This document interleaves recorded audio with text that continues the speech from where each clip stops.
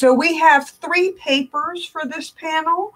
Um, I'm going to briefly introduce each scholar before their panel. They'll give their papers about 15 to 20 minutes, and then we'll do Q&A at the end. Um, so we're having great conversations and comments in the YouTube chat, so that's great.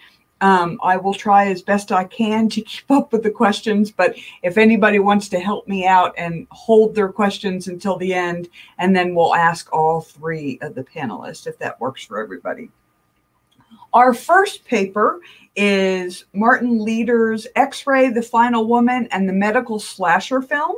He's a research affiliate at the University of Manitoba's Institute for the Humanities.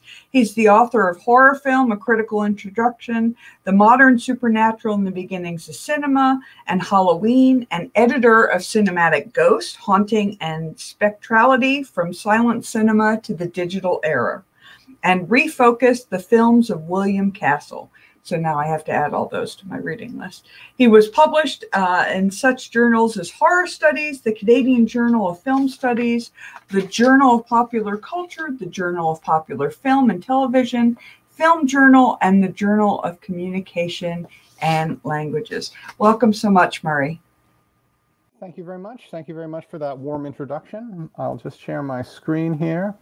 I, I should remark that um, uh, in a way I was drawn to this film, uh, X-Ray, uh, because I, I, did a lot of my dissertation research that became my book, The Modern Supernatural and the Beginnings of Cinema.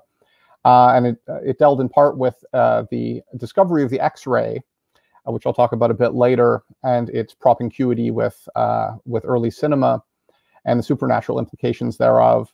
And of course, I learned that there was a slasher film called X-Ray. So um, I was uh, destined, I think, to eventually write about it. And uh, I, in, I don't want to deceive anybody. Uh, this is based on a publication which is already out there in Continuum. Uh, it's uh, sort of a cardinal sin, I'm afraid, of uh, presenting on something that's already been published.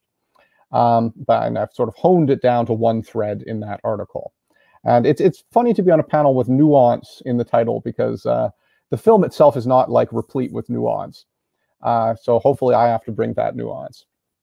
I discussed the early slasher film that does, uh, both fits and does not fit within Carol Clover's model of the final girl. Directed by Israeli director Boaz Davidson, who mostly specialized in sex comedies, and distributed by the exploitation specialist Cannon Films, it was released both as X-Ray and Hospital Massacre in 1981, in the thick of the first slasher cycle, obviously. A peculiar film that derives a queasy quality from its tonal strangeness. Uh, it, it's often hard to figure out whether it's taking itself seriously or not. Uh, X-ray is almost entirely absent from the now voluminous scholarship on the slasher film, perhaps because it's in some ways not the most representative example, but I think it's an interesting one. Certainly, many of the familiar uh, character dynamics of uh, Clover's model are in play in X-ray, especially in terms of the relationship between the assaultive and reactive gazes. Uh, yet its setting of the thinly peopled host urban hospital, a different setting from the rural and suburban settings of most slasher films, but constructing similar dynamics of isolation, permit those gazes to operate within the paradigm of a Foucaultian medical gaze. And so, so doing, I'm arguing today, invokes a range of anxieties about masculine medicine, its spaces, and practitioners. I'm focusing more narrowly on X-ray today, but I think a lot of my points could be extended into other uh, medically themed uh, slasher films and horror films more broadly. Uh, X-ray could be slotted into a long history of horror with medical context, especially those about deranged surgeons like Mad Love and The Raven, as and later films like Eyes Without a Face and Horror Hospital. The key director associated with medical uh, horror is, of course, David Cronenberg, yet the slasher film had its own dalliances with medical settings too, including later examples like Dr. Giggles Anatomy and Valentine. In his book on the slasher film, Adam Rockoff dismisses X ray and visiting hours from the subsequent year as inferior films which effectively killed off the minor trend of hospital slashers, alongside, of course, the better known Halloween 2 if X-ray obviously takes some cues from what were the existing slasher films, so-called at that time, of course that that label wasn't wasn't solidified till later. Another significant uh, predecessor is Michael Crichton's more mainstream Hollywood medical thriller Coma, X-ray uh, echoes coma in its chases through sparsely populated medical facilities, and a third act where a female protagonist named Susan in both films is strapped to a medical table for an unnecessary procedure meant to kill her. Though lofty considerations of medical ethics in, in coma, um, uh, there's no equivalent to be found in X-ray. Davidson's film contains many of the same anxieties about the hospital space, masculine medicine, and especially female bodies that are on display in less intellectual fashion, uh, mostly represented at the level of film form. And uh, just to, to talk, of course, we all know the debates about uh, gender and misogyny in the slasher film. X-Ray, I think, is a kind of an interesting example because uh, it does represent the male gaze as violent and sadistic, but there's almost no kind of intellectual distance that's uh, contextualizing that. Uh, and on the other hand, it doesn't really open itself to being read as an indictment of female sexuality in the way that many uh, many slasher films were. X-Ray Dot only takes place entirely, uh, almost entirely in a hospital, but its villain is a doctor. Uh, it's it's a little hazy if he's actually a doctor or just impersonating one, um, but he disguises his identity behind a medical mask and manipulates uh, medical imaging to his vile purpose. The film also develops an unease uh, through the recurring emphasis on the medical gaze. In using this term, I'm of course evoking the concept that, uh, that uh, Michel Foucault introduced in The Birth of the Clinic in 1963, uh, which has been variously rendered as the medical, clinical, or observational gaze, a feature of Foucault's modern uh, episteme as it emerges at the beginning of the 19th century. Cold, empirical, and depersonalizing, the medical gaze is hypothetically detached from the doctor made anonymous, impartial, and empirical. It also makes its uh, subject essentially feminine, it's been argued, in rendering it uh, uh, to, to a, uh, reducing it rather to a position of passivity, and even as rendering it corpse-like. In X-ray, the medical gaze is on display uh, not just through any individual character, but rather is attached to the environment itself of the hospital, a place replete with gazes of all kinds, almost all of them pointed at Susan, the protagonist and like the X-ray itself, ultimately aimed at penetrating her inner body. I should say here uh, that Susan is played by Barbi Benton, who was um, had acted a little, but was best known as a Playboy model. She had appeared on the the uh, uh, cover of, of Playboy three times uh, three times prior and once subsequently. I'll get to the significance of that later on. Throughout this presentation, I will use the title X-Ray over the more prosaic Hospital Massacre, uh, partly because the 2014 Blu-ray DVD released from Scream Factory uses the X-Ray title, and partially because I just find it a better title, a more evocative, and a strange way, appropriate one.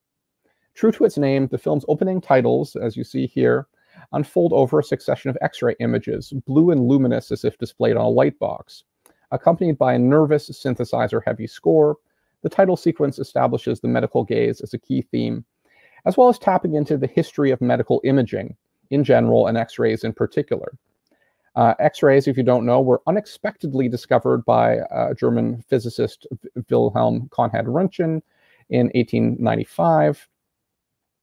And because it was easy to replicate and largely circulated through the popular press rather than scientific channels uh, in that, that early period, it triggered an X-ray craze that threatened to overshadow the uh, commercial debut of cinema that same year.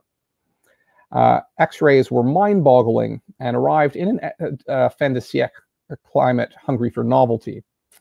The living skeleton, quote unquote, was previously seen as something of a contradiction in terms, serving mainly as artistic representation, either as the symbol of death or as a guide for anatomists, but now it could be observed.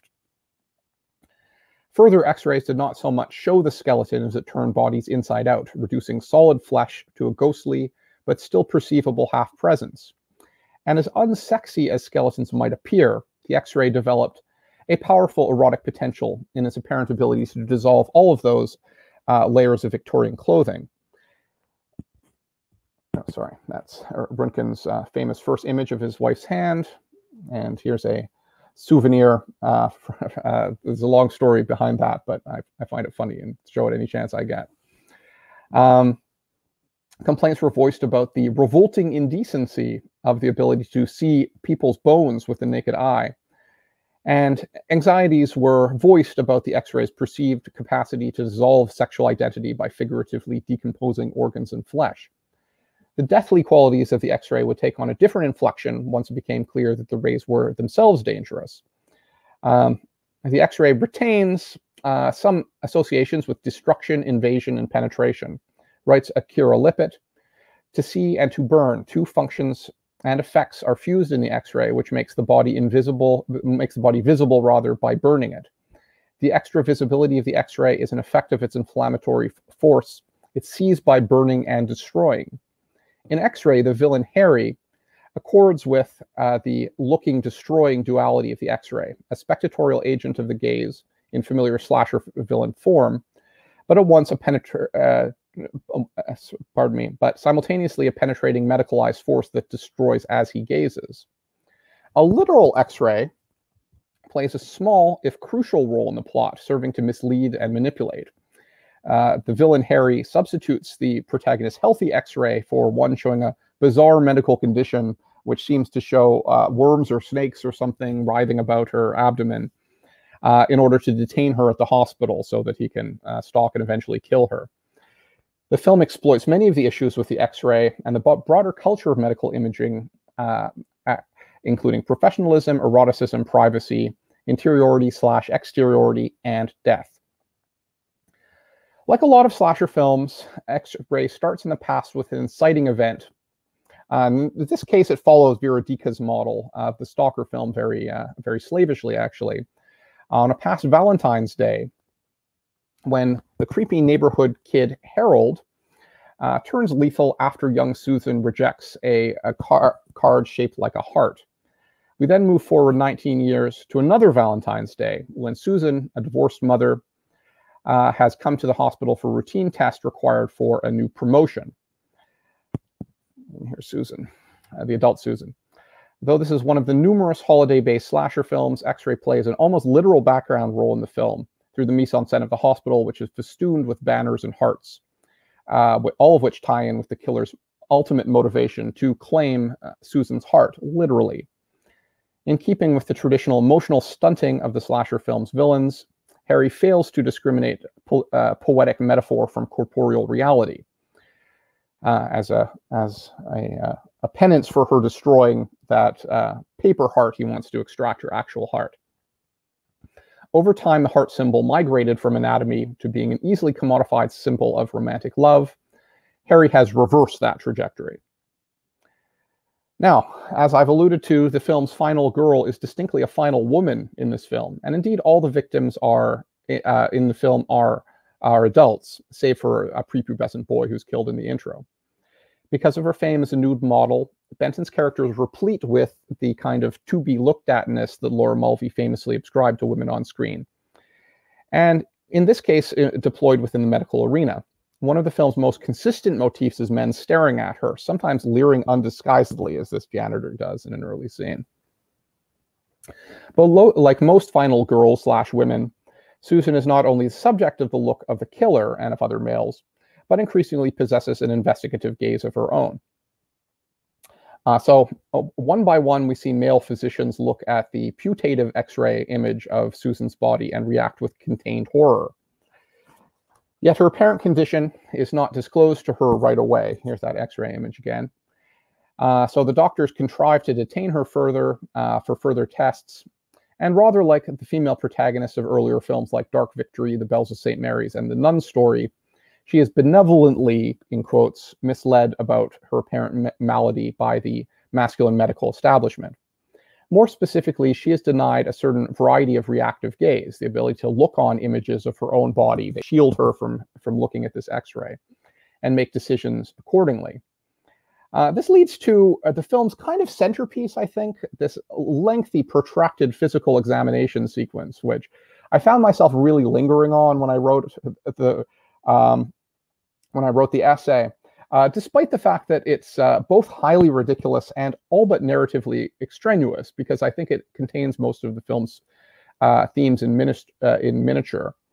Uh, so the doctor of the hospital, Dr. Saxon, who is presented quite sinisterly because, uh, you know, the, we need a lot of red herrings, but he's not actually the killer. In fact, gets murdered later on. Uh, he's very insistent on an examination right away. He instructs her now get undressed, adding only a half-hearted please to his order. Until this point, Susan, having come to the hospital directly from work, has worn business attire. At this point, she sheds it and only returns in the last scene. Her low-key, uh, uh, her low-key battle of wills with Dr. Saxon ends with her reluctantly giving in to the authority of male medicine, her own agency compromised. Susan undresses behind a scrim, backlit, her silhouette revealing the contours of her body. And in pure Mulvian fashion, Saxon stands and watches, and the audience shares his gaze. Uh, even against this striptease sequence, however, the film begins to establish the significance of a counter gaze, Susan's own perspective, gazing out from behind the scrim at two doctors inaudibly discussing her, uh, her x-ray uh, via this POV shot. Uh, it is the final girl's formulaic act of reversing the gaze per, per Clover. The subsequent physical examination scene goes on for more than six minutes. Uh, Roy Porter has explained that physical examinations emerged in the 18th and especially 19th centuries, and despite having a relatively limited diagnostic utility, he, uh, this is Porter's quote, the sick have uh, so far come to expect being physically examined that they regard the doctor who omits hands-on examination as negligent. In the film, however, despite her obvious discomfort, Susan reflexively permits the unannounced touching of her body by Saxon as a necessary feature of the medical environment. She lies topless on the examination table as he runs his hands up her legs before prob probing her abdomen. The camera follows up the length of the legs and places her breast fully in, in frame as he moves his stethoscope about, repeating in out in a mistakenly uh, sexualized fashion, while the camera blatantly leers at her body. The film also reveals that this examination is itself being spied on by another of the film's red herring characters, a drunken mental patient named Hal, whom Sus Susan encountered earlier. The film alternates between his leering face and, and uh, his POV gazing at Susan, framed by an askew curtain and the edge of the door to emphasize the theme of voyeurism. A nurse comes along in the hall and tells him to stop, but he immediately goes back to it as soon as she walks away. From that point on, we see no more of Hal, even though his gaze is pres presumably still present. It just sort of diffuses into the film's mise en scène. The sequence continues with uh, Dr. Saxon's use of uh, various tools of examination and extraction, uh, stethoscope and op ophthalmoscope. That's a hard word to say, apparently. And then he takes a blood sample from her. As he uncaps the needle, it is framed against her eye uh, the focus rocking between her face and the needle clutching hand. Another striking visualization of Susan's double status as possessing the gaze and as object of the gaze. Susan swabs, uh, uh sorry, pardon me, Saxon swabs her arm, and the film edits between her flinching, his obsessive looking face, and the needle's insertion in loving close up. Susan momentarily loses her composure and flinches, a classic example of the reactive gaze. The needle fills with blood, again in extreme close-up. And the final shot of the sequence is uh, a small orgasmic spray, spray of blood as the needle is removed. The interplay of the assaultive gaze of Saxon and Susan's reactive gaze are so paramount in the overwrought medical examination sequence as to almost play as self-parody. This scene could perhaps justifiably be described as an empty piece of titillation with next to no narrative justification. But however crudely, it taps into a set of powerful images of male science dominating over a female body. Saxon is putatively checking her body for evidence to support the conditions indicated by the X-ray. Yet this uh, uh, professional objective is thoroughly obscured by the film's audio presentation of the examination. I, I, thought of showing this scene, but it is kind of long and uh, it's it's decidedly porny, if that's a if that's a verb uh, or that's an adjective that I can use. Um, meanwhile, her counter gaze begins to tentatively scrutinize the medical gaze deployed against her. In her book, Sexual Visions, Image of Gender in Science and Medicine Between the 18th and 20th Centuries, uh, Ludmilla Jordanova examines the theme of the unveiling of a female body. She draws attention to the 1899 statue, Nature Unveiling Herself Before Science, which it depicts nature as a young woman veiled except for her breasts, which she is in the process of uncovering. Writes Jordanova, the, uh, the statue mobilizes a number of devices commonly used over many centuries personification, veiling, the use of breasts to denote femininity, the gendering of both science and nature. The affiliation of science with masculinity and nature with femininity obviously resonates with the examination scene where Saxon is probing Susan's body for non existent secrets and imperfections hidden within her idealized form. From that scene on, she wears a thin, translucent hospital gown that suggests veiling in its skimpiness and the attention that draws to Susan's body even as it conceals it. Um, Jordanova notes that medicine has historically evoked masculine uh, uh, sadism towards women, but also an, ideali- uh, an, also an idealization of women, uh, an equally prominent theme as violence. Possibly these two constitute two sides of the same coin. Pardon me. X-ray idealizes uh, Susan's body as an image of feminine perfection that Harry's um, machinations have transformed into an object of scrutiny. Many of the film's themes come together in the climactic image of Susan lying on a medical table while the killer pants behind his identity concealing face mask, fondling dissection equipment.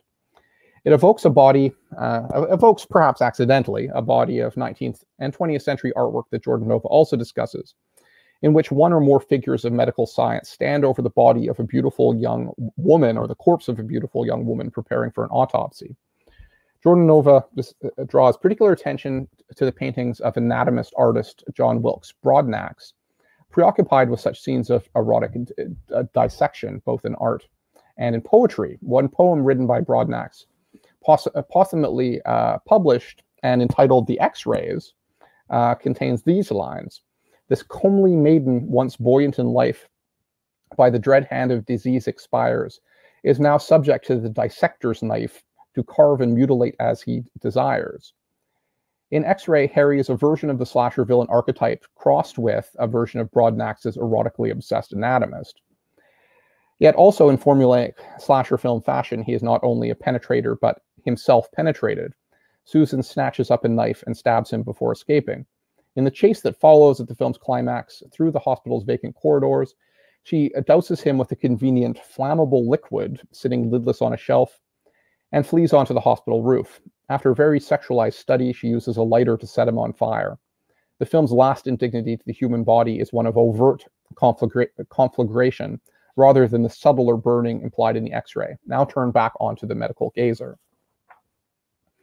The conclusion of x ray is oddly sudden a few seconds of Susan collecting her wits on the hospital roof, and then a cut to a scene of her emerging from the entrance of the hospital wearing the same dark red business attire uh, that she wore earlier, and being jubilantly greeted by her daughter, uh, while her ex husband stands nearby, all in mere seconds.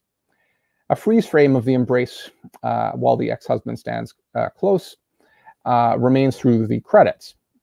The film is putatively with the but the heroine is not free ending that uh, Vera Dika finds structurally uh, typical of the slasher of the stalker film rather.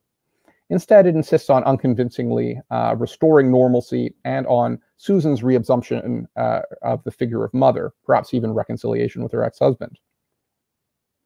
Her victory somewhat anticipates a more triumphant strand of Final Girl, emblematized by Stretch in the Texas Chainsaw Massacre 2, final girls who do not simply survive but win. At the same time, the normalization, uh, the normalizing tendencies of the ending stand opposed to the tensions uh, that the film has articulated about the medical gaze, which outlast Harry, the hospital massacre, and the movie. One can read into the film's truncated conclusion a certain unwillingness to finally deal with its own implications. While it is difficult to dispute Rockoff's assessment of X Ray as a minor, inferior slasher film, with the t- film's tonal strangeness, and I, I, didn't have much time to get into this, but it has scenes which would seem broad in something like student bodies. Um, there comes a sickly quality that goes well beyond the killer's individual pathology, but is attached instead to the entire medical establishment. X Ray, to be clear, is not some lost subversive masterpiece, but from its messiness comes a peculiar fascination that remains unblunted by its normalizing formulaic ending. And that's the end of my presentation. Thank you very much. Thank you so much, Murray. That was really interesting. And I look to seeing the parallels and intersections we have with our next couple of papers. Our next paper is The Maturing of Madness The Rise of Adult Centric Slashers in 1982 by Amanda Reyes. She is an academic writer and um, archivist and historian from Austin, Texas. She's the editor and co author of Are You in the House Alone? A TV movie compendium. She's been a guest speaker and lecturer at international film festivals, movie screenings, and academic conferences in places in such places as Australia, England, Scotland, Germany, and stateside in Los Angeles, New York, and Texas. She is published in several books, including Scared, Sacred, Idolatry, Religion, and Worship in the Horror Film, and Yuletide Terror, Christmas Horror on Film and Television. She has contributed commentary tracks for the home release video releases of Last House on the Left, Scream for Help, Don't Be Afraid of the Dark, Pulse, and Eyes of a Stranger among several others. She is a featured guest speaker in several genre film documentaries, including Eli Roth's History of Horror and Woodlands Dark and Days Bewitched, A History of Folk Horror.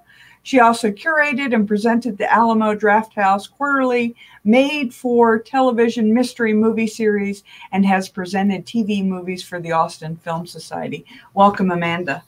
Hi, thanks so much for having me. Um, that was a really pretentious uh, intro I wrote, but um, Thank you. Uh, so um, my cat is being a little crazy, so please bear with me um, while I do this. And I've never had to share a screen before with people, but let me see if I can figure out how to do this. And okay, let me know if it's not working for you. But um, let me get started because I have a lot to talk about. So I'm going to be talking about the adult-centric slashers of 1982. Um, I want to thank everybody for inviting me here. It's been a really great conference so far. I'm following up on some really amazing papers. Um, and I'm going to just basically give you uh, a general overview of 1982 and how it was kind of special in the way that it started turning its focus on older characters. So in May of 1982, Variety published a front page article about the woeful state of the oversaturated stalk and slash market. Film distributors were hawking titles that buyers felt were practically identical to one another. Over 60 titles, or roughly 25% of movies up for purchase, were of the slasher variety. The markets were exhausted. Variety also noted that in 1981, the lower tiered horror films were already having a tough time rolling out their products thanks to juggernaut studios such as Paramount moving into their territory. And by 1982, those same majors had grown disenchanted with the subgenre, leaving gaps in theatrical release schedules. So the oversaturation of the market and the takeover by the majors meant that it was hard to get a leg up on the competition. And now critics were also refusing to see a lot of the lower budget releases, claiming too much violence and too many copycats. Filmmakers were still incredibly gung ho, of course, on the cheap and easy blueprint of the slasher, but production was down and audiences weren't guaranteed to show up in the same surefire numbers. It looked like the slasher film was on its last legs. Admittedly, 1982 did look like more of the same. Unhinged, The House on Sorority Row, Friday the 13th, Part 3, Humongous, and Slumber Party Massacre all appeared to fall into the quote unquote teeny kill pic, a term coined by theorist Robin Wood, and one which Variety often used as a reference towards the onslaught of slashers largely comprised of young adult characters. The trade started asking, where can these films go now? And they actually predicted that fantasy films like Conan the Barbarian would become the next big box office ticket, leaving the slasher genre a dim, bloodstained memory, right? However, the boom wasn't over yet, and 1982 proved to be a weaker, but still worthwhile, extension of the golden uh, year of 1981. There remain plenty of teens on the run from seemingly unstoppable killers, but there's also an intriguing shift towards movies with older, more mature characters as well. Movies such as The Forest, Visiting Hours, Ghost Dance, Deadly Games, The Last Horror Film, Silent Rage, and The Slayer, among others, fell across many different sections of the slasher spectrum in terms of budget, effectiveness, and legacy. But they had one thing in common. These were all movies about adult characters, often dealing with adult issues. Several adult-centric themes appear and are broached. Everything from marital woes to work woes were employed as clever plot and or subtextual devices. There's even a scene in the forest featuring two characters lamenting the 5 p.m. rush hour traffic. And there's a still from that. And that is one of the most relatable, I think, things that any adult goes through when you enter your nine to five life. And more often than not, these films embraced an even more nihilistic edge. We still had survivors. We even sometimes had a quote unquote final woman, but this wasn't always guaranteed. Um, two examples right here, not to be too spoilery, but some movies featured no survivors at all. The stakes felt much, much, much higher. Teenagers and younger adults have the rest of their lives to deal with these traumatic events. And despite some of the darker endings, the final girl became a symbol of power and resilience. However, the adults, if they made it to the end of the film, aren't guaranteed the same hope. And therefore, in their own way, the adult centric uh, slasher releases became fascinating and worthwhile metaphors for the very real hardships of the day to day survival all grown ups experience. So, four decades after this golden age, and we're still analyzing young adults in the slasher, I think what makes this really ironic is that much of the writing attributed to spectatorship from those aged under 21 could very easily be applied to adult horror viewers. Much has been made of the style and form, as well as the tropes and the way slashers handle metaphors of like the changing face of the family, as well as, of course, how the subgenre deals with issues of gender. Almost all of these critiques have aided us in understanding the lens of um, adolescent spectatorship However, little to no attention is given to films centered on more mature characters and the older audiences who watch them. So, Kara M. Kovarin's provocative essay, You're All Doomed, a socioeconomic analysis of the slasher film, expresses exactly why this is needed. So, her essay contends that the slasher cycle is an important one to teenagers of the 1980s because it grew out of the general struggles of the 70s, particularly the heavy economic issues from the mid to late 1970s. And she argued, quote, summer camps, small towns and suburbs, the very hallmarks of safe middle class America, the world their baby boomer parents created for them was, in fact, not safe at all. They were faced with the tough reality that they would not be as financially successful as their parents. In slasher films, this looming uncertainty took the form of an unstoppable killer. In reality, it took the form of rising unemployment, cuts to social services, loss of unionized manufacturing jobs, a shrinking middle class, rising tuition costs, and the resurgence of the Cold War.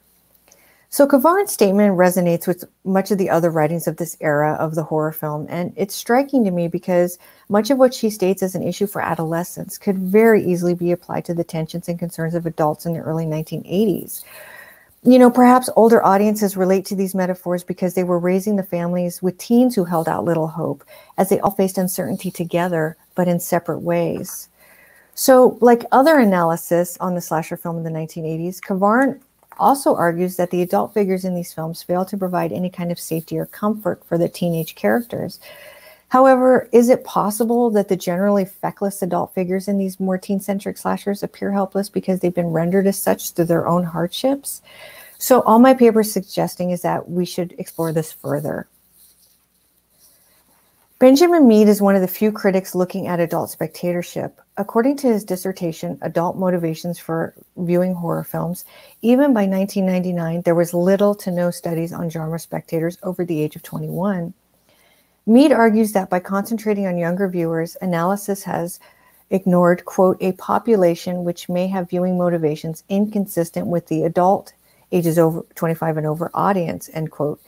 Mead adds that his that prior attempts to look at older audiences remains largely anecdotal. So his research is built on cultural theorist Christian Metz's 1955 essay, The Imaginary Signifier. So, in that essay, Metz suggests that viewers need to identify with characters on screen either in a primary or secondary stage, with the second secondary stage identification involving association with characters on screen, characters most like him or herself. By the way, you might hear my cat in the background. He wants some attention. Um, anyway, Metz's psychoanalytic theories arose from Jacques Lacan's notion of the quote unquote mirror phase of spectatorship, where the viewer identifies with characters as though they are looking at an image of themselves reflect, reflected back from the screen. I think the most poignant piece from Mead's paper is that he contends any evidence or study attributed to the adult viewer is constructed by spectatorship from which the spectators are missing. Adults have been rendered invisible and mostly remain absent from the discourse. So, to rectify this gap in viewership studies, Mead put together two focus groups. Um, they were composed of people over the age of 30. Some were genre fans, some weren't. He interrogates several different issues in his questionnaire. A couple of the questions include Do these viewers experience a quote unquote rush from horror movies? How does the audience perceive these films as works of entertainment? Um, did the spectator develop empathy for the characters, etc.? His research developed several different outcomes, although he attempts to avoid generalizations. However, he did state the following about his research. Quote, findings from the frequency analysis by age showed that younger viewers differed from older viewers on several viewing motivations. Younger viewers more frequently reported that they liked being scared because horror films are exciting to watch, whereas older viewers more frequently mentioned this to experience something different from everyday life, to escape, as well as uh, for the special effects and for the suspense. So it would appear to me that Mead is making two arguments in his dissertation, right? He supports Metz's theory that the audience desires to see themselves reflected on the screen. However, his study also suggests that older viewers want some kind of escape or to experience something other than their daily life. Um, so this is where I think um, adult-centric slashers can work as an important component for further studies on spectatorship. The slasher films of 1982 that feature older protagonists are built on characters that are relatable to the older spectator. They are sometimes career minded or they might be experiencing marital woes, but their day to day circumstances become minor in the wake of whatever horror awaits them in the film. Therefore, there is still a relatable image reflected on the screen, but because the horror, uh, but because the stories are fantastical, these films provide a means to escape. And of course, adult centric slashers just didn't appear in a bubble, right? In 1982, there are plenty of examples, and the proto slashers that predate them, of course, are a really important component. They often featured older characters, and I think it's worthwhile to just take a brief look at the legacy of films that led up to 1982. So, proto slashers, of course, have an advantage in that because Halloween hadn't set the blueprint yet, these films weren't beholden to any kind of set structure and only became part of the slasher family in hindsight. They may only need a few elements to qualify them as such, but movies such as 1932's 13 Women and 1958's The Screaming Mimi were playing towards older audiences because studios and filmmakers were only just beginning to understand the bottomless pockets of the teen market by the 1950s or late 1950s. Later, in the 70s, television took up the mantle of the proto slasher and entertained an array of films with dynamic characters of all ages. Um, one of the best examples is 1972's Home for the Holidays, which features a group of adult women, all sisters, returning to their childhood home because their father believes his new wife is poisoning him. Family dysfunction, um, alcoholism, relationship problems all come to the forefront uh, because of this abusive father. On the big screen, the notorious 1978 release The Toolbox Murders didn't necessarily allow for substantial characterizations of victims, but the lower class setting, the fact that they had older victims, and the killer's descent into madness after the death of his teenage daughter, I think were compelling and unique uh, to the genre at the time, and something maybe older viewers could relate to on some level. But perhaps no other film set up the notion of how adult centric slashers could play both against the tropes even before they were set up in Halloween and also work as a discourse for the disillusionment with adulthood better than 1976's Savage Weekend. So, this story is set is about a group of wealthy urbanites, two of whom were stockbrokers, who leave the city to visit a more modest mountain region. They encounter some locals, uh, one of whom who cannot who cannot spell and is portrayed as kind of a backwoods idiot. Um, and someone begins to kill off the wealthy visitors. But while the Masked Marauders reveal presents little surprise, Savage Weekend is not really a whodunit. It's about class differences, and it sets out to reject cultural norms by flipping the script on horror stereotypes. So the openly gay character in the film defends himself against two large homophobic men in a bar, and he wins. Um, one of the women in the group instigates an affair with a married man, and she is the one to end it as well. And the quote unquote hillbillies are not the villains of the film, they are, in fact, the heroes. So, aside from reversing certain tropes and inviting class issues into the subtext, Savage Weekend is also sort of about this ennui that drives us into madness. It actually says that the clawing dog eat dog corporate world ruin, ruins relationships and produces human monsters. So, I just want to show you the bar fight scene with the gay character, just to give you a general idea what this film is doing. And um, keep in mind, this is I had to source this not from the Blu-ray. It is on Blu-ray, and everybody should see it. But um, those are hard to pull images from, so I had to grab this kind of bootleggy image.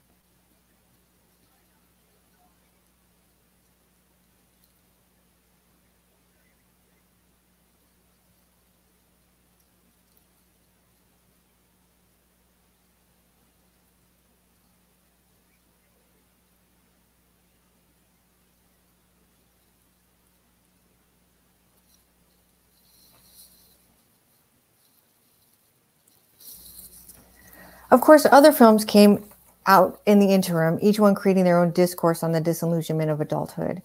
It's more that the market in 1982 was catching on to this refreshing take on the blueprint and churning out adult centric genre content that they felt would appeal to cinema goers. What came out of that was a diverse collection of titles that, for the most part, still remain undiscovered, at least in terms of spectatorship and sometimes subtextual analysis. So, briefly, I'd just like to highlight what these films were doing um, to merge this divergent need of relatability and escapism. So, Alone in the Dark features four emotionally disturbed patients breaking out of a sanitarium and stalking the family of the doctor who replaced their favorite psychiatrist. The film centers its story on this heteronormative family who serve as a sort of Greek chorus to the madness around them. And insanity isn't only represented by the escaped inmates. The entire town literally goes crazy after a blackout. The hospital the escapees reside in is overseen by a doctor who uses quirky and unusual methods to help his patients. The sister of the stock psychiatrist recently suffered a breakdown herself, and it put her in the hospital. Upon release, she becomes an anti nuke activist and joins a band, which signifies that you can suffer from an emotional breakdown and find healthy means to work through it. You do not have to end up like the escapees. And many of these films feature career minded characters, particularly women. Um, Ghost Dance centers its story on a sensitive anthropology professor who investigates the seemingly supernatural murders occurring after a dig at an Indian burial site. In The Slayer, the protagonist is a long suffering and successful artist whose work becomes increasingly more bizarre as she sinks into madness brought about by her nightmares. And in the flawed but self aware The Last Horror film, Caroline Munro plays Jana Bates, an ambitious horror actress who finds herself fending off a mad stalker at the Cannes Film Festival. The film is partially inspired by the assassination attempt on Ronald Reagan because his assailant was obsessed with Jodie Foster. So, Premises such as these can really only work through the lens of more mature characters. But no other film really captured strong and independent adult women better than Visiting Hours. And I'm so thrilled that Murray mentioned this in his presentation, which we just heard. Um, so let me just give you a little rundown of what it's about. So Deborah Ballin is a tough talking news commentator and a vocal feminist who must fend off a violent misogynist. After the attack, she finds herself under the care of an empathetic nurse and a single mother named Sheila, the two eventually find themselves inadvertently working with a young streetwise woman named Lisa, and the three of them are eventually able to topple the killer. From the face of the film, Visiting Hours appears to be a suspense thriller with some slasher sequences. And by 1982, critics had seen it all, right? Vincent Canby of the New York Times wrote Visiting Hours is an especially clumsy, overwrought example of the slack and hack melodrama. Variety called it lowercase horror. However, what critics negated and what has been left out of the discourse is the ways in which the women, all from different class levels, intersect with each other to play differing but equally important roles in stopping the killer. A solidarity evolves throughout the film as well in different ways. So, a couple of characters only intersect briefly, some have stronger relationships, but it's really interesting the way they all kind of end up playing a part, right? So, this is a genuine attempt to craft a thriller that plays to the older audience, particularly female viewers, of course, through relatable characterizations while still serving as a means of escapism. So I just want to show you one of my favorite scenes in the film. This is how the women interact with each other, and it's it's really really well done.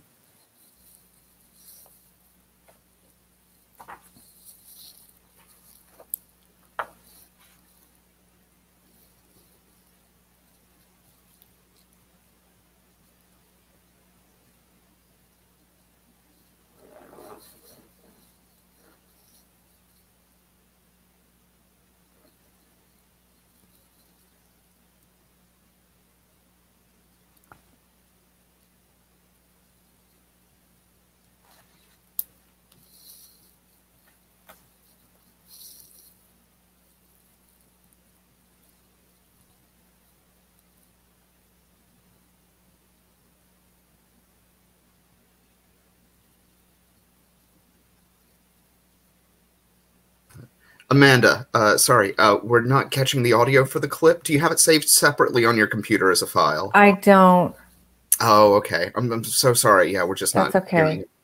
Sorry. Well, okay, let, let me move on. So, sorry about that. That's a really great clip, and everybody should see the movie. So, anyway, finally, Deadly Games was produced in 1979, but not released until 1982. It received little attention and suffered from a poor transfer in its domestic VHS release. But like Visiting Hours, it is a thriller with slasher elements. Um, the story is about a young woman named Keegan who returns to her small hometown after her sister is murdered. Keegan meets the police detective investigating the case. Um, he has a friend who served in Vietnam with him, and each suffers from a different form of PTSD. PTSD, excuse me.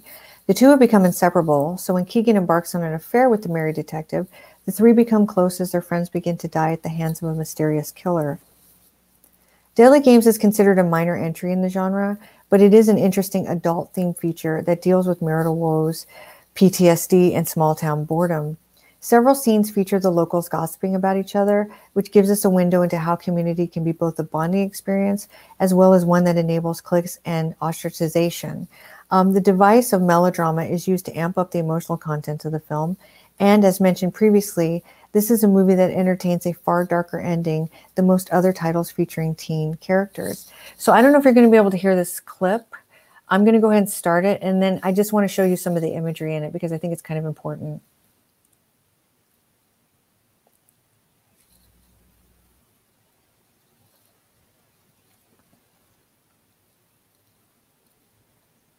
So they're gossiping here.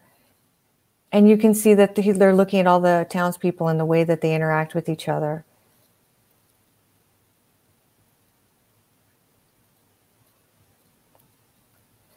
And then it ends with the man talking, telling Keegan that he knows his wife cheats on him, but who would ever love him, right? And she says, I would marry you. It's a really, really sweet scene. So to conclude, uh, all I want to say is that this area of study still remains virtually un- untouched, and I think that expresses a real lack of understanding of spectatorship. To contend that there is this monolithic viewership is to greatly misunderstand the appeal of slashers on mass audiences. Um, you know, even now in 2021, nearly four decades after the release of these titles, why do movies like Alone in the Dark, The Forest, and The Slayer continue to thrive on streaming and home video platforms? Is it possible that these voracious adolescent slasher fans in the 1980s, like myself, grew into adulthood, started their own families, and have dealt with many of the same issues as the more mature characters in these films. Um, and now maybe they share a new form of catharsis through them. And I think that this is an idea worth exploring. Um, and thank you very much. That's my presentation.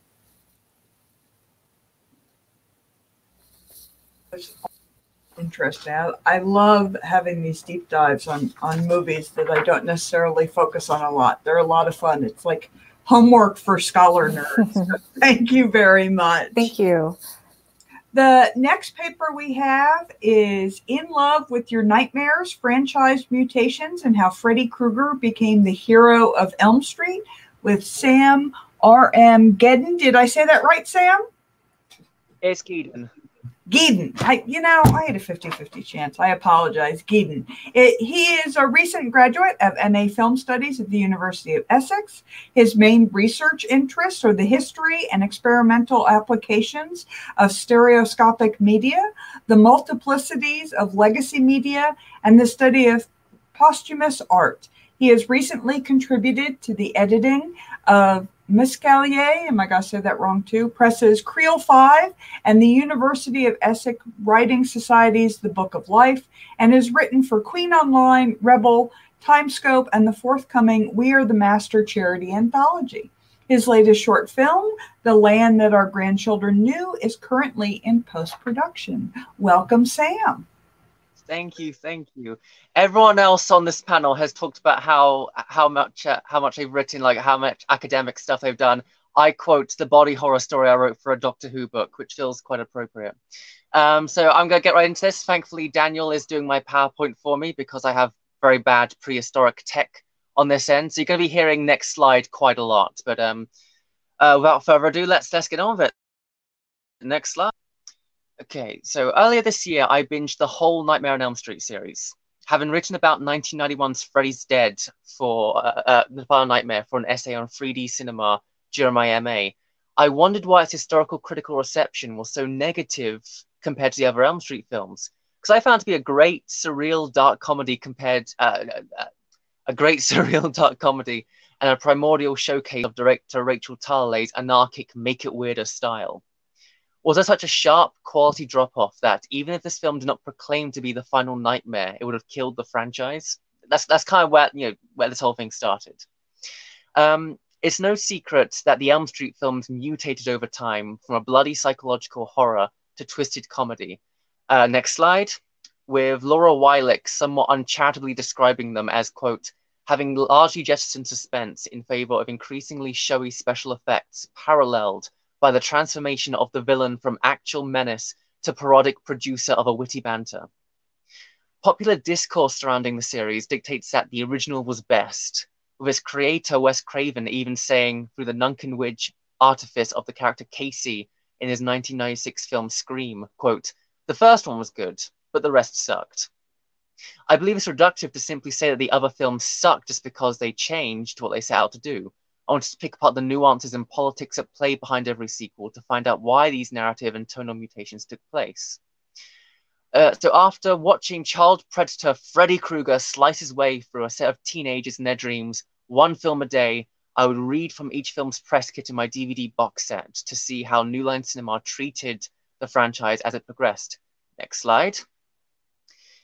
But this passage from the production notes of 1989's Freddy's, uh, 1989's Elm Street 5, The Dream Child, particularly stood out to me. With Freddy described as, quote, not merely a quintessential villain, but an unlikely hero whose dark sense of humor remains his saving grace, occupying a singular place in the tradition of anti uh, of such anti-heroes as Dracula, Frankenstein, and the Wolfman. What? A hero? Even calling the child killer an anti-hero is stretching it just a bit. So this paper will look into this eyebrow-raising assertion, going down the rabbit hole to ask if Freddy Krueger is in any way heroic. More so, what does it say if he is? Are we approaching this on two fronts, analyzing Freddy's actions and impact in text, and then his standing in the real world and how the franchise mutated as a result? I'll be measuring this throughout by the criteria set by Oren E. Klupp, which is the next slide. In that a hero is a person of fame, rumor, or legend, commonly called a hero, or is subject to hero worship. So if we're approaching Freddy from a purely textual standpoint, what do the films tell us about him? Next slide. On a functional archetypal level, Jason Mittell argues that, quote, alignment and elaboration are key components of our allegiance to an anti-hero. Freddy does not have that sense of audience alignment that his contemporaries do. While films like Halloween forge alignments of the killer through POV or tracking shots, the Elm Street series near exclusively sits in the perspective of the teenagers, Freddy's point of view more in how he warps their point of view we never really see the world through Freddy's eyes and develop an uneasy understanding or appreciation of why he dedicates his afterlife to brutally murdering children. He's not Jigsaw who self justifies his actions as part of a greater moral good, nor is there a greater force of evil that makes him appear virtuous by comparison. Freddy's Dead addresses Mittell's ideas when his daughter Maggie roams through his memories. We see flashes of Freddy being teased at school and abused by his stepfather, presented as stepping stones to his hideousness. However, whether true or not, such is the nature of a creature operating purely in the unconscious, Freddy uses these clips to try and garner enough sympathy from Maggie in the hopes of killing her when her guard is down. Freddy's ultimate villainy is weaponizing Mittell's notion that, quote, the more we know about a character through, un- through revelations of backstory, the more likely we'll come to regard them as an ally. Freddy rejects these complexities and reveals himself to be cut from the same evil cloth as his contemporaries Jason Voorhees, Leatherface, and Michael Myers as an almost bestial killer. Next slide. But his impact within the films may perversely fit a more ancient definition of heroism. Margaret Visser's concept of the enemy hero in Greek mythology is that those who had cowardly and unlawfully slain their enemy before bad fortune at the sight of the act in a twisted act of penance, quote, the people whom he had originally wronged must now treat him as a hero if they wish to be released from his curse. If we examine the Freddy phenomenon in these films, we see a similar sequence of events. When Freddy is freed for his crimes on the technicality, the parents of Springwood, Ohio seek vengeance by burning him alive while he slept. Freddy's curse is to kill their kids, becoming, in the poetic words of the unfortunately named Fred Krueger Pelker, quote, a sort of bizarro Jesus Christ, risen from the grave to exact vengeance on those who did him in. Nearly every Elm Street film features Freddy's actions and murder as a community secret. while his malignant influence extends to the whole town as the site of his vigilante death. He's not exactly famous per Klapp's criteria, but he's certainly subject to rumor and legend, especially as the films progress. The parents of any teenage antagonist strenuously deny Freddy's existence. Sorry, this froze for a second. Yeah, strenuously deny Freddy's existence when their children tell them about the man in their dreams, which Amanda just now somewhat touched upon. Such is their commitment to ignoring the curse killing their children that, in the case of Nancy Thompson's parents, next slide, they both eventually turn to alcohol to absolve themselves of taking responsibility for their actions. Their children condemn the actions of their parents and blame them for suffering Freddy's wrath. Kristen Parker screams out against her mother, drugging her so as to maintain the sanctity of her delusion, while Quentin Smith is disgusted by the vigilantism of the parents and that, by operating outside the legal system with its clinical commitment to facts, they persecuted Freddy without knowing his guilt for certain. Visser states that, quote, the plague is lifted when worship for the enemy is instituted. And this comes into play here in similarly perverse ways, as Freddy's power is derived from being rem- remembered. 2003's Freddy vs. Jason shows the town institutionalizing affected teenagers and forcing them to take Hypnocil to stop him from manifesting. Their actions, while working so Freddy's never remembered enough to, re- to regain power, are also a twisted form of worship with the very worst cases placed in perpetual, dreamless comas comparable to devoting oneself to lifelong monastic prayer. The purest expression of the enemy hero model, though, is in Freddy's Dead. Having killed every last child in Springwood, the adults, in a state of grief induced mania, openly acknowledge and venerate Freddy in a frenzied hope that their repent will bring children back to the town. The school teaching Freddy history satisfies the epic qualifiers for a hero in being remembered in glory by a hero cult. That is being taught to empty seats, though, demonstrates that this ritualistic glorification is not true, sweeping remembrance, which fuels Freddy's desire to expand his influence beyond Springwood. Next slide. While he may not qualify as a hero or anti-hero in the mechanics of narrative, Freddy's impact as an, en- as an epic enemy hero who is worshipped to mitigate his wrath is quite potent in these films. In fact, the 1994 meta sequel, Wes Craven's New Nightmare, makes a point in saying that Elm Street's many sequels and public adoration had trapped the true evil essence of Fre- Freddy, quote, like the genie in the bottle. The idea that Freddy is the latest manifestation of an ancient evil chimes with Karrá Shimabukuro, our esteemed chair, who I hope I'm not misrepresenting here, uh, making brilliant connections between him and the boogeyman, saying, quote, folkloric figures do not completely change through time. They simply become reimagined, providing us a lens through which to view our own world. If this is the case, what does Freddy Krueger, as the manifestation of a folkloric evil in the 1980s, say about our world? Using Klapp's criteria provides us with a very disquieting answer. Next slide. Freddy is famous by virtue of being a franchise movie star, and if the press kit for Dream Warriors is to be believed, has a worldwide mythic appeal in that, quote, teenagers in Yugoslavia tell Freddy jokes. Young people in India see him as the contemporary manifestation of a traditional evil spirit. Next slide. Contemporary articles from the LA Times and the Rolling Stone use the term heroic to describe Freddy, for better or for worse. And while I realize this is something of a recursive loop, he was certainly a hero to New Line, as he single handedly transformed the company from a small time distributor into the production juggernauts that would create such films as The Mask, Blade, and Lord of the Rings trilogy. And Freddy's idol- id- idolatry cannot be denied in the realms of worship. Once again, referring to Klapp, Freddy is the frequent subject of homage, having had songs written about him and being a popular choice for cosplay at Halloween or conventions. Next slide. His formal recognition came at the apex of the original franchise when Los Angeles declared 13, Friday, the 13th of September, 1991, Freddy Krueger Day, at a ceremony involving his actor Robert Englund to promote Freddy's Dead. Freddy's Dead is quite important to this whole thing, and I, I, will, not, I will not be taking questions on that. Um, and finally, uh, next slide. One only has to go to any convention that Englund is attending to see scores of Freddy fans lining up to not only meet him, but if they pay a premium, have a picture taken with Freddy himself in the famous boiler room that so many of the Elm Street films return to. see in this, I would have actually paid to have a photo taken with Robert Englund as Freddy, but London Film and Comic Con was cancelled last month, so I couldn't spend 130 pound for a, a, a, conference gag. So, oh well. Notorious child killer Freddy Krueger is, by Klapp's metric, a hero, albeit one with none of the virtue we would uh, optimistically ascribe to the role.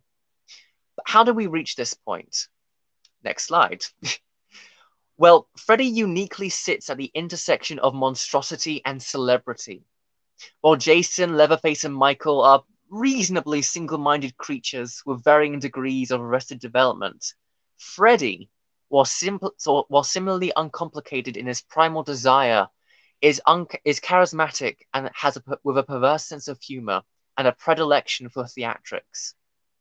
We see this when he infamously says, I'm your boyfriend now, when Nancy calls Glenn in the original Nightmare and turns the phone into his tongue, and when he cuts off his fingers just to freak Tina out. Indeed, where other slasher villains would get to the point. Freddy would pursue you with all the pomp, self-assuredness, and innuendo that, say, Freddie Mercury would display at a Queen concert. Next slide. Now, much like how King Kong is, according to Peter Suderman, quote, Hollywood's first visual effects movie star, as memorable and engaging as any played by human actors. Freddy Krueger may just be, possibly, maybe, up to debate, of course, Slasher Cinema's first celebrity, insofar as having a memorable and magnetic star power that is wholly apart from that of Englund. This is best seen by the fact that MTV promoted Elm Street 4 The Dream Master with an hour long special about its presenter trying to get an interview of Freddy. The character became the star and still received his own adoration, where other stars known for big roles are beloved for the ideals that their characters represent, like Mark Hamill and Luke Skywalker. But even Freddy's star, even with Freddy's star power, it doesn't change the fact that he's spending the running time of these films brutally hacking apart teenagers. Frankly, that's the impetus of fran- of the franchise mutating from a pure horror to a more dark comedy. Next slide, I think. Yes, yes, next slide. Uh, yes, um, the term franchise mutations, which I'm sure someone has a far better name for, is a media phenomenon where something is made at least partially in response to the reaction of the people to the previous text. Was a popular assumption that the films made Freddy funny and therefore arbitrarily worse. I argue that it was Freddy so quickly becoming a pop culture icon that shapes the course of these texts. He's not the symptom of these films changing course to chase trends. He's the trend they're chasing. And the key to un- really understanding this is to view Elm Street as a transmedia entity. Henry Jenkins, of course, coined the term as an example of media convergence, which, quote, integrates multiple texts to create a narrative so large that it cannot be contained within a single medium. To supplement what I call the flagship text, i.e., the, the main medium that all of us converge upon, audiences may watch cartoons, read books and comics that completely experience. In short, quote, to truly appreciate what we are watching, we have to do our homework. Now, while New Line did not mastermind some grand sweeping multimedia narrative like, like the franchises of today, their mass merchandising of Freddy certainly created a perceptual patchwork which impacted the flagship texts. You're gonna love this. Next slide. By the Dream Child, whose press kit explicitly called Freddy a hero, we saw such extra textual media as the Elm Street NES game, marketed towards kids, the Freddy's Nightmares anthology show, where Freddy is rendered as a goofy Crypt Keeper like character introduced in every segment, the Freddy Fan Club, and even Freddy's greatest hits by the Elm Street Group. Is it any wonder that Freddy stopped being a symbol of violent, repressed, perverse fear when any kid can beat him up on their Nintendo and then flip over to MTV to see him rap with the Fat Boys? But where did this particular strand of the mutation come from? The answer on the next slide is Dream Warriors. Not the film, the song by Dokken. While most of the music video is standard Elm Street fare with Freddy stalking Kristen, the inherent campiness of the band using the power of rock and roll to defeat Freddy, Freddy is elevated to parody in the final shot, with Freddy jolting awake, clutching a little girl doll, and declaring, What a nightmare! Who are those guys? As you can see right there, that's my favorite shot in the whole in the whole video. With the pop culture machine that was MTV broadcasting the video to an infinitely wider audience in a theatrical release, this one shot cemented the image of Freddy Krueger as a silly quip maniac for the rest of time. It also allowed him to become a full celebrity. After Dream Warriors came regular appearances as a VJ on MTV, as well as that Dream Master promo. It's why Englund received top billing for every film from the Dream Master onwards.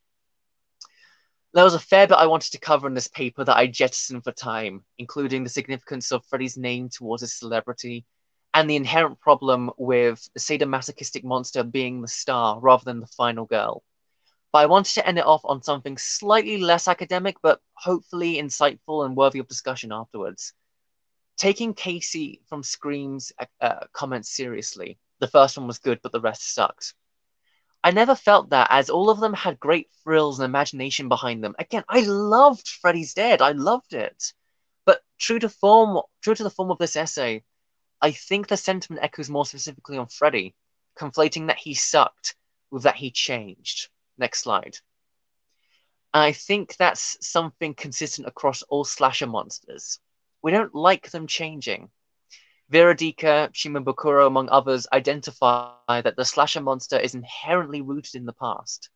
The thrill of seeing new Halloween films is that the years have changed Laurie Strode in a multiplicity of ways, but Michael Myers is still the same creature hunting her, which both forces Laurie to confront him from a different vantage point in life, while still contending with the metaphorical wounds from the past he is opening up. Oh, he is opening up with his pursuit. A more pointed example of this can be found in Psycho 2. Next slide. Norman Bates is released from a mental institution after 22 years, having exercised his murderous mother persona and is as close to being a well adjusted and upstanding citizen as possible. Norman gains greater depth as someone desperately trying to move on from his past transgressions and find fulfillment.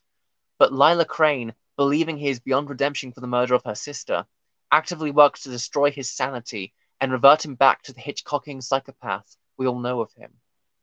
In the end, just that happens. Because at the intersection of Norman's monstrosity and humanity, we want Hyde to win over Jekyll because slasher films specifically give us the space to experience and reckon with the darkest shades of humanity.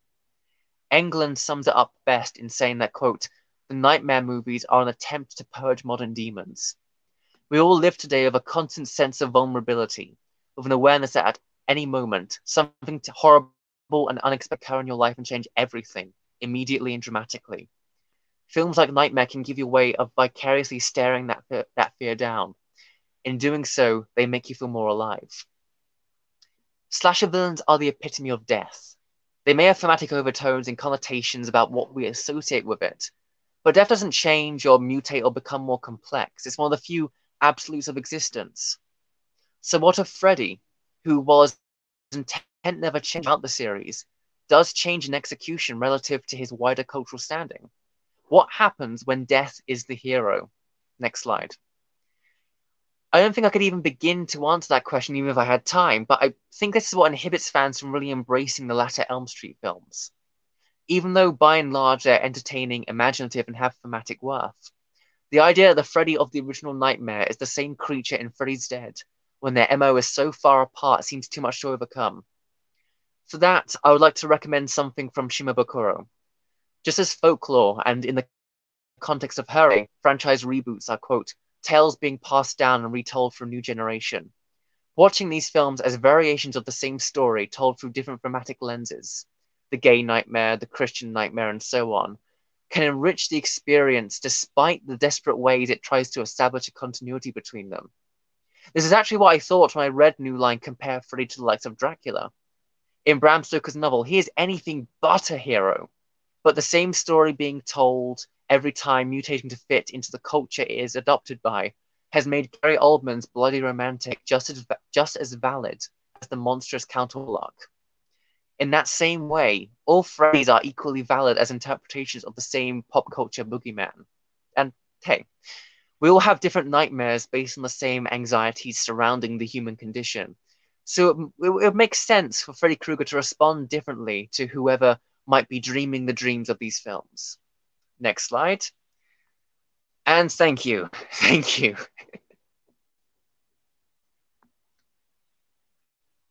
uh, Sam, that was wonderful. Uh, with listening to everybody's papers, I thought probably a good place to start is to go back to the the title of the panel, right? So nuance and and strategies. So it seems like we have a lot of intersections with the idea of nuance as storytelling and rumor and folklore and popular culture, but also the idea of strategies with the the HISMED that that comes up with both Amanda and Murray's papers, but also the idea of how that theatricality for both heroes and and using the different elements starts off. So uh, we have a a question for Sam. We'll start with most recent, and I'll go back uh, that Alex had in the chat of what to make of Freddy as consumed in a non-linear fashion specifically talking about those of us that grew up with the films coming out of uh, VHS and the paratext that you talk about? Um, seeing them out of order, like in terms of like in text, if you're just watching the films, arguably he doesn't change so much in terms of his his, mo in terms of you know he wants to kill people because that's that's just what he does to be very reductive it's more so the tone of which he does it like um uh, for example, in the original Nightmare, you you see you see him kill Tina by by grabbing her and like throwing her against um you know uh, against her ceiling, or br- brutally slashing her. In Elm Street Four, you see him in a pizza parlor with with Alice Johnson eating a pizza made of meatball souls. There, there's a there's a there's a difference in terms of how how he goes about it, the the the tone of which he pursues these things. Basically, I kind of see it as as these films progress, he finds more ways to amuse himself rather than strictly killing people just for the sake of killing them.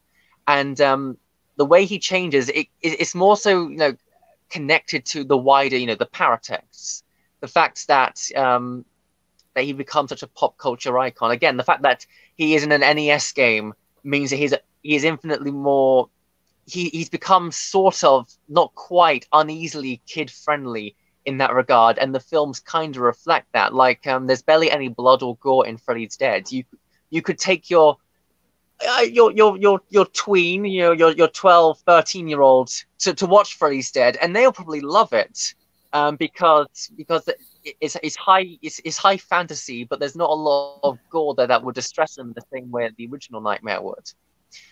I think that's that's more or less it. Thank you so much. And and both Daniel and uh, Dawn Keatley had, uh, I think, questions that sort of go together for Amanda, talking about how um, with adult-centric slashers, how those representations differ from teen slashers, specifically with the idea of punishment, right? So in the the youth-centric slashers, uh, they're the teens are punished, are the adults punished or are there different um, sort of focuses with the adult centric slashers, Amanda? That's a really good question. And I think it depends on the film. I think you could argue that in something like Deadly Games, where there's a lot of infidelity happening in the film, um, that perhaps they are being punished, excuse me, for that.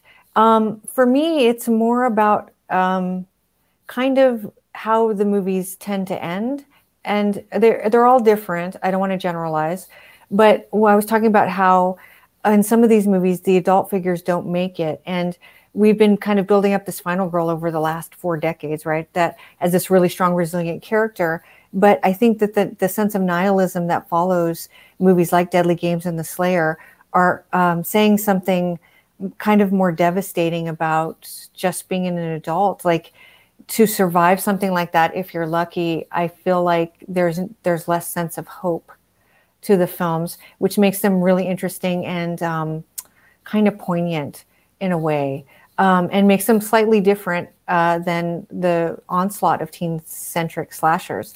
But in terms of punishment i hadn't really thought so much about what's happening to them but there is some clear um, crossovers like in visiting hours for instance the killer sees the women as um, really bad people because they're independent and um, they're uh, confident and they're living their lives without men and he doesn't like that. And in a way it kind of intersects with this idea of like the sexually promiscuous teens. So i guess they intertwine and they're separate at the same time. I'd have to really think about a better answer but that's what i have. No that's wonderful. Thank you. Um, i actually had uh, a question for for murray and it was something too that uh, that came up um, with both the chat and i saw with some of the twitter feed is this intersection with what you're talking about with HISMED. Uh, specifically, you know, we have this very complicated history with hospitals so far as both mental and physical health, right? They're, they tend to become boogeymen, right, with the settings. But it also seems to be very gendered, right? That that women are experimented on or sterilized, right, with history. And I was just curious about sort of how much of that that actual history you saw um, applying to your work? Well, I, I mean, uh, in the in the longer piece, I talk about like uh, the differences between coma and um, and uh, and and uh, X-ray as they're represented in the hospital space itself, because in coma, which is about all of those things, about experimentation on on uh, on bodies, on women in particular, how even a doctor isn't safe from this. Uh, but the hospital spaces look spick and span uh, and brightly lit. There's sort of this modernist feel, and this dark conspiracy is being is playing out in plain sight. And it seems to me uh, like this uh, uh, this this formal difference is speaks something to the generic difference between it and a film like like X-Ray, where the hospital in X-ray, which I guess is shot in a real hospital that was was closing down.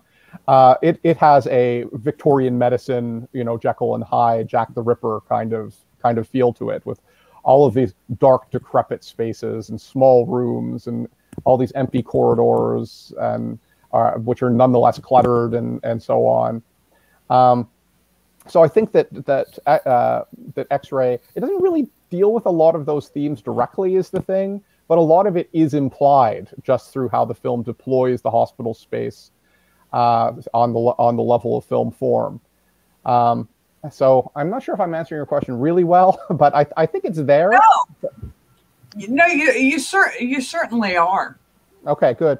I, I think it's there, but the, the film doesn't do a lot to really reflect on it. It's just kind of implied in the images uh, of the spaces that it uh, that it utilizes. It's a, it's a, it's interesting for me too, especially because I do so much interdisciplinary work that that, that sort of intersection of um, I'm, I'm, thinking too of Nursing Clio's articles and then you know how that gets seen in in popular media to me is just really interesting. Um, Sam, we had a couple of questions that I, I think too sort of intersect. Um, Mark Adams and somebody's going to make me say big dick black on uh, a live stream. Hardcore fan i hope everybody is really amused by that. Um, mark asks uh, for you sam about um, how do you think the icon of freddy impacted on the attempt to remake the character in the 2010 film? And what challenges there were and big dick black had the sort of i think a tie-in question of how does Freddie's hero status, how is that icon status impacted or does he lose it with the remake confirming that he's not just a child killer but a pedophile? That's a good question. Um, I first of all, the, the interesting thing about the, the 2010 remake is that I believe it was made by at least some of the it was made by um, Platinum Dunes, who also did the the Friday the 13th uh, remake and I believe that there were some people who were involved um, in with Freddy versus Jason, a part of that. So um, so there's there's some there's there's some kind of like fan remediation trying to reclaim um, Freddy back from from the the supposed nadir that was Freddy's dead. I, I know that um, people saw Freddy versus Jason as like the true ending for for Freddy rather than um, Freddy's dead. So I, I think it it tries it it does try to um, to properly remediate Freddy to make him unambiguously monstrous compared to perhaps the the, the implication because obviously yeah in, in the 2010 remake he is overtly a pedophile um what was the second uh, question again please Um, just whether or not that does he lose or how does it impact his hero icon status with making him a pedophile or with um, you know the 2010 remake? Um, I think I think he does lose it by virtue of them. I think kind of a bit too hard in the other direction. Like I, the, the 2010 remake was actually one of the first Elm Street films I watched. Um, so it, it, struck me that the, that um, the things that made Freddy an icon in the 80s, you know, notably the humor aspect of it, um, that that felt very forced in the 2010 version. It, he wasn't really a, he quipped, but it wasn't really a sense of humor. It was more a sense of menace. So I think like his his hero such iconic status was kind of diminished as much as possible to make him a more credible threat. And in that and in in the result of that, he became more of a bland archetypal slasher villain rather than you know the the celebrity that that he is. The thing that makes him like indistinguish like distinguishable from every other slasher icon. I always it, the a lot of the the comparisons too is that that 2010 uh, to me seems a bit like the Moffat and the Kripke finger wagging of making fun of the fans. Like, oh, for all of you that liked Freddy, by the way, you're a bad person for liking him because he's this. So there there seems to be some, I think, uh, creator versus audience issues going on there. Um, so the last question I want to ask is for Amanda, and again, we we have sort of intersecting ideas here. Bruno Filetto Lucas asks about do you think we'll be seeing more uh, adult centric slashers in the wake of like Halloween 2018? And Alex Svensson asked about um, how that sort of fits in with the nos- nostalgia what nostalgia has to do with these adult centric slashers. Well, in terms of slashers, I'm not sure, but uh, and I was talking with Daniel yesterday actually about this. One of the things that I'm seeing, so um, ageism is a real big thing for me. Um, you know, you get a certain age and you start to notice these things, right? And one of the things that I find so incredible about where we are is um, Lin Shaye. Lin Shaye is a woman in her 70s leading a franchise and making a gazillion dollars for people. She's in her 70s and we love her. And in the story, I think it was Insidious 3, we deal with things like grief and loss in really poignant ways, right? And um, it's beautiful and it's great to see that. And I hope that that continues. With Laurie Strode, what Sam said was so interesting to me um, because he said that Laurie changes, but Michael does not. And um, the thing about Laurie and what we saw in the last film was now she's a grandmother, right? And we see three women, sort of like we did in Visiting Hours, these three different women at different places in their life, all coming together to defeat this sort of um, killer who's a metaphor for so many things for each girl, right? So, or woman. And, um, and that film was huge. And maybe we can start thinking about why that is. There's something poignant about, I saw in the comment section somebody talking about Nancy and three and, and later and Wes Craven's New Nightmare. And there's something really poignant and meaningful for being a slasher fan in the 80s to come up with Nancy, to see her in the third one and then and then to see her again as a mother playing herself. Like there's something about having these characters return because there's this attachment to them, but like you say, they're changing and I'm changing too. And I'm looking at their changes and I'm seeing where I am with them and their lives. And, um, and it gives an extra sense of poignant is the only word I can think of. It, it, gives extra meaning to those films. So I like the return of these characters quite a bit. And personally, I think what they did with Halloween 2018 was brilliant. And I could talk about it all day, but um, I want to see more of that. And I don't want them to do that half ass shit they did in Resurrection where they tried to kill her off pardon my French. It was offensive, and I'm glad she's back. And we need we need characters like that, male and female, represented um, in these films because we've grown up the audience that love these films, and we want to see ourselves on screen. Yes, that's wonderful. And as Victoria Timpanaro pointed out, that the idea of revisiting characters as they get older, um, as the audience, right, who has grown up with these, are are wonderful.